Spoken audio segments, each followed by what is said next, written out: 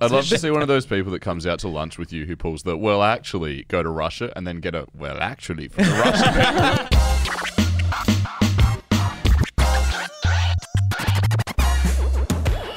Guys, welcome back to another Global Wine News. Welcome. We got Noah, we got Henry, and of course I'm Brendan. Uh, and we thought we'd um, uh, discuss something that happened a couple of weeks back that uh, seemed to get some people riled. Some really good, interesting conversations came out of it. Um, now, Henry, Yeah, we've been talking about appellation. You know about appellation, right? all over it. All over it. Yeah, so you know about this. This what? What did you call it? The Big Mac effect. Uh, well, regional copyright. Regional copyright, yeah. So uh, a place can have a regional copyright to say that um, you know this here comes from the, the the town of say Champagne. Yep. Right. And in fact, it is so ingrained they actually call themselves the Champenois. They are the people of Champagne, Sick. except for when Russia says. What? So,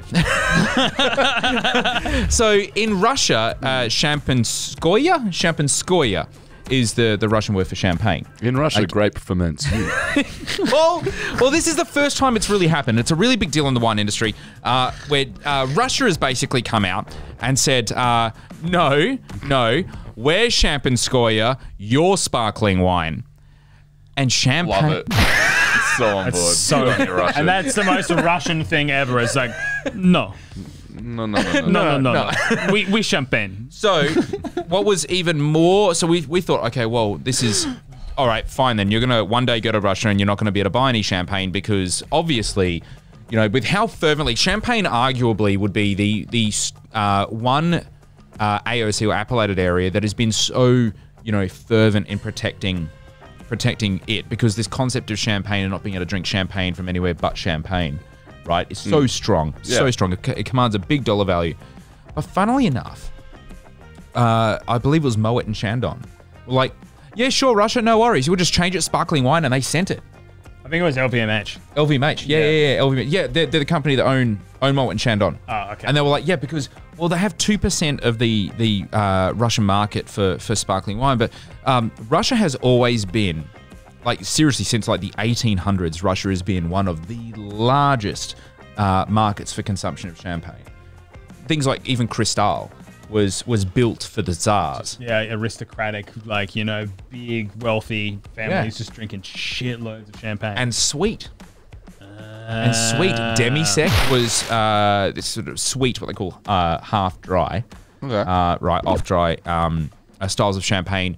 Even to this day, trying to find demi sec uh, champagne outside of Russia is very, very, very difficult. It almost exclusively goes to one country. Um, wow, so that's crazy. if they lost Russia, like that's serious. That's like a big dent. It is a big dent. It's something like twenty percent of all champagne is is consumed all in Russia. You know, Not according to the Russians. It's sparkling wine. well, yeah, well, I've never had the stuff. Well, yeah. Well, they make their own. They make their own uh, style of sparkling wine. I think it's like mm-hmm. Siberian Shampanskoye, which I have admittedly Sick. never had before. I want it really I, badly. I really want to If try. there's any like spec- really, really specific importers of Russian sparkling wine into Australia, and if you're watching, Yeah, please get in touch. like get in touch. We'll buy like a case, like for sure. I really want to try Russian sparkling wine. well, Shampanskoye. Sorry, Russian something champagne. Duh. And so they've come back going, no, well, ours, is, and I don't think it really registered on, on anyone's radar, particularly the Champenoise, that Shampanskoye was, was it's such a, a change in um, verbiage, such a change in spelling and lexicon.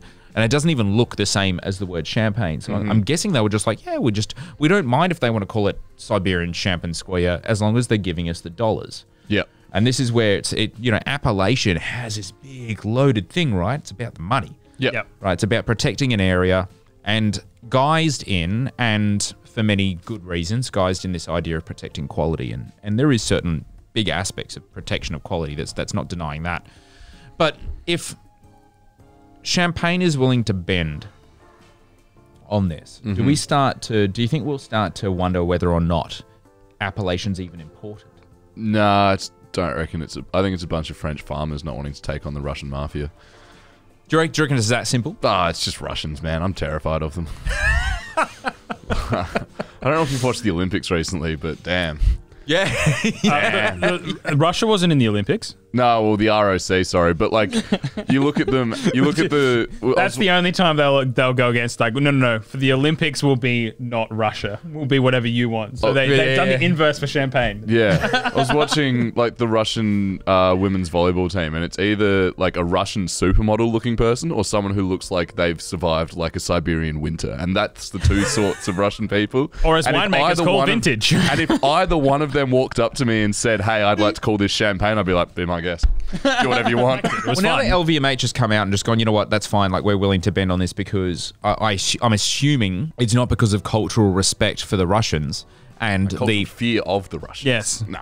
Well, do you, uh, is it is it a fear-led thing of, of maybe not fear of Russians, but fear of the loss of dollars? That, but also could it be like, hey, I don't think that people are all of a sudden going to be like, oh, a bottle of this Don Perrier from Siberia. Like, I, maybe they're just not threatened, but like they're thinking that Lots it's different. unpack there.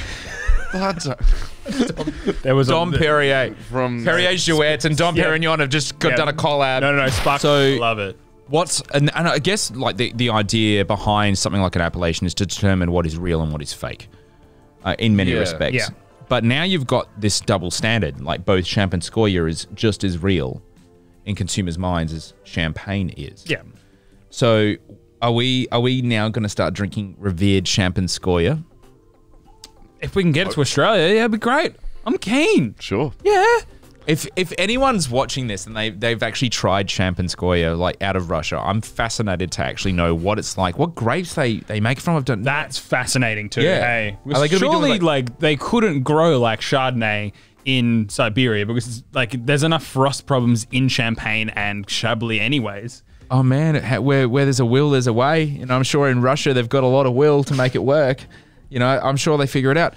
But I mean, in Australia we don't have uh, appellation per se. We have GIs, geographical indicators, um, which basically imply that you can't say that a wine comes from. Um, Like Margaret River when it's from you know McLaren Vale. know, somewhere somewhere not Margaret River, and that makes sense because like when you're drinking something in the bottle that says what it says it is, Yeah. Except now you've got this weird double standard. Like, like for example, referencing in Australia, orange, and we can't say orange wine mm. because it doesn't come from orange, mm. Mm. and that's a colloquial thing. You know, in now this champagne double standard, Yeah. champagne now means two things instead of one thing. But it's a different name, isn't it? Like Champagne is is what we're talking about as a Russian. It, they are different. Like you're not going to look at that and be like, ah, champagne. You're going to be like, oh, Russian champagne, aren't you?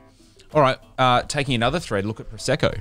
Okay. So prosecco was the name of the grape variety. Okay. Okay. Uh, and then I think it was in, I want to say late 90s, early noughties, I think early like 2000s. Yep.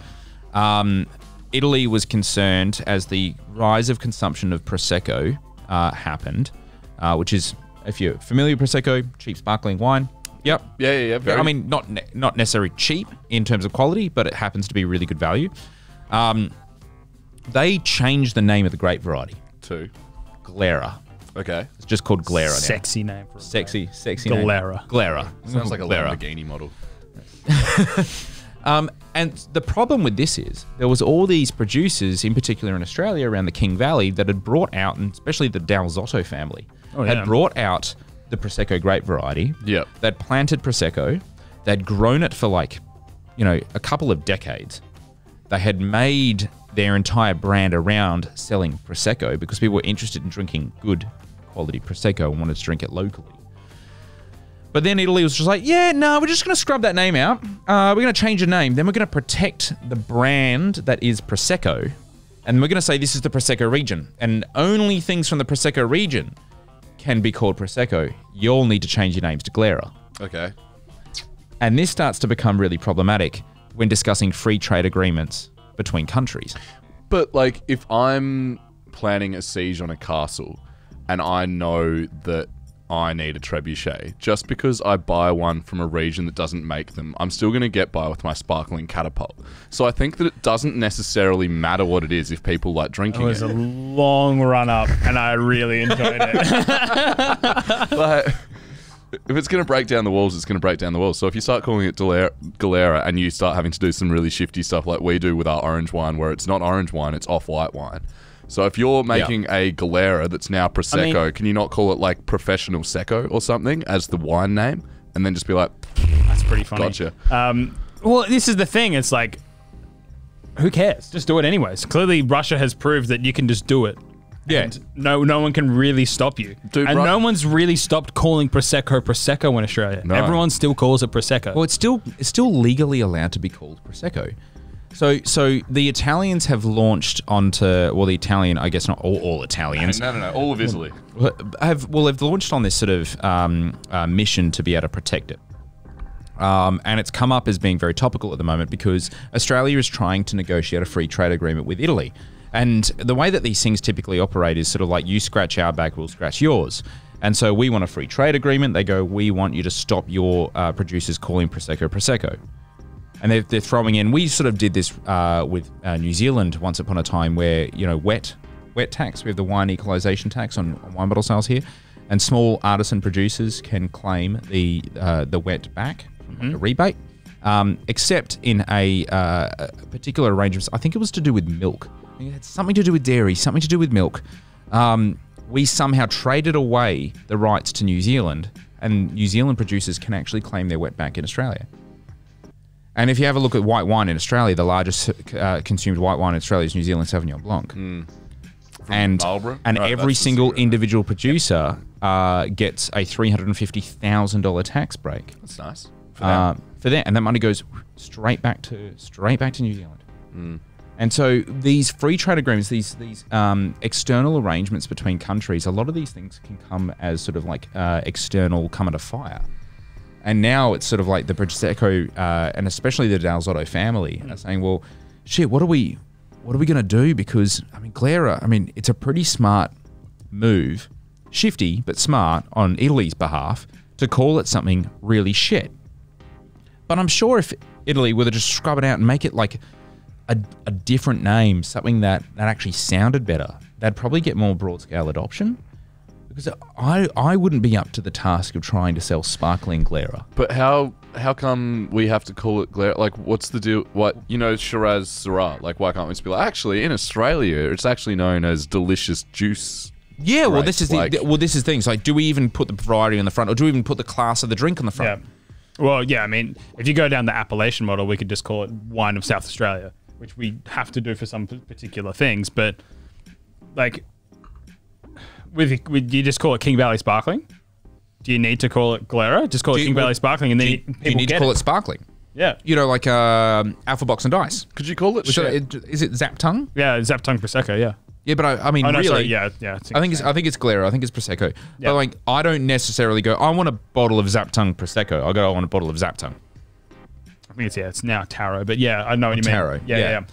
You just buy a bottle of. I mean, that's what like that's what Galera does as a product. It's like I want that reliability of knowing what I'm getting. So if you know if it's Mm. just you know King Valley and it's in a under a sparkling lid, it's like well, it's probably going to be this. Could we could we make a wine that's sparkling Chardonnay? Call it champagne, spelled S H A M P A I N P A. No, so th- this is the um. Uh, if you do you know, have you heard it? Seen the uh, champagne producer GH Mumm? Yeah, I have had some more. Bottle Mum. Yep. Uh, do you know that d'Arenberg created a D A D D, a dad? That's fun. Yeah, and then got absolutely roasted for it Oh, that sucks. because well, he also literally ripped off the branding and just changed Yeah. the letters.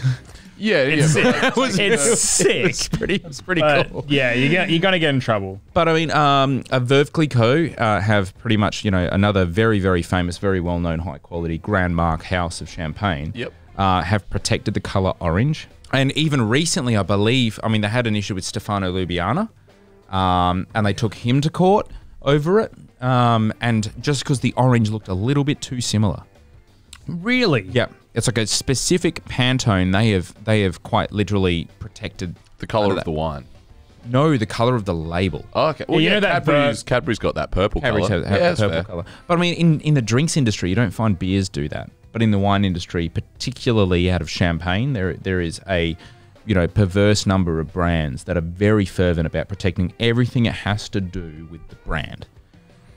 Yeah, I mean, with people buying off label and stuff like that, it sort of makes sense.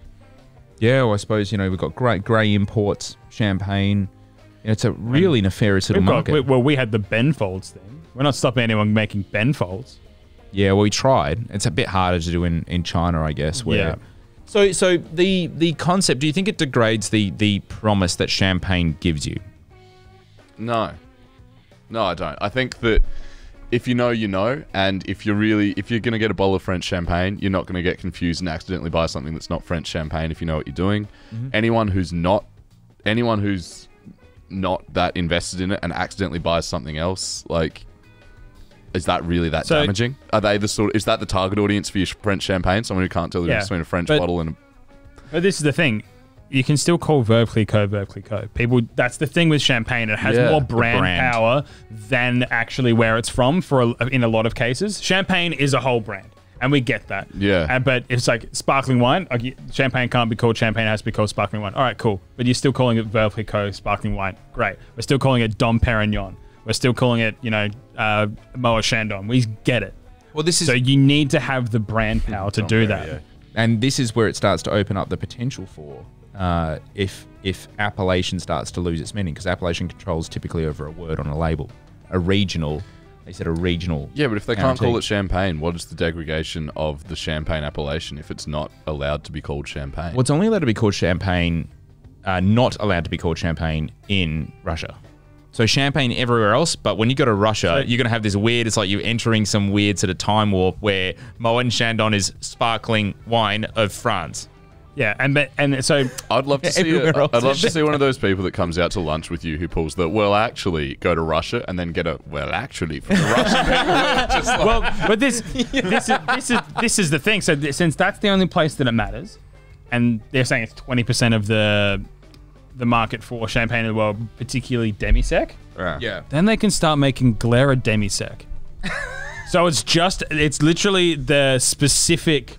Um, like Russian import, they can cut. They can. He's like, you know, what, fuck you, Russia. We're gonna make the cheapest shit because you've just said we can do whatever we want. So we're just gonna make the cheapest shit for you. Do you reckon? Yeah, true. Do you reckon? And then the rest of the world gets champagne, and we all live in Happy Land. And then you go to Russia, and it's sparkling sweet Glera or Champano- Champanoski. Yeah. Do you reckon there's- Have a good old Champanskoya Yoski. Oh, saying cha- I forgot. Apologies. do you reckon there's any chance that sparkling white wine being produced in North Korea isn't being branded as champagne?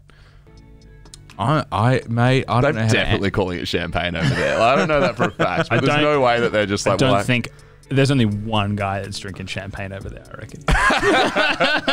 So really, and on that point, we're gonna leave it there. There you go. Uh, it's not real Champanskoya unless it's Russian Champanskoya, uh, and they'll have the last laugh on this. Cheers, guys. I, I don't think so. I think we're having the last laugh with our champagne. We're champagne. Sick. Bye. Ciao. Ciao.